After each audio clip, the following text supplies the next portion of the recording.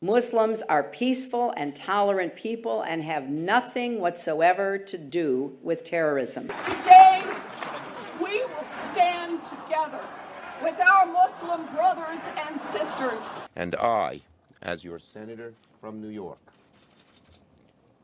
will claw, scrap, and fight with every fiber of my being until these orders are overturned. Because they recognize that some people did something, some people did something, some people did something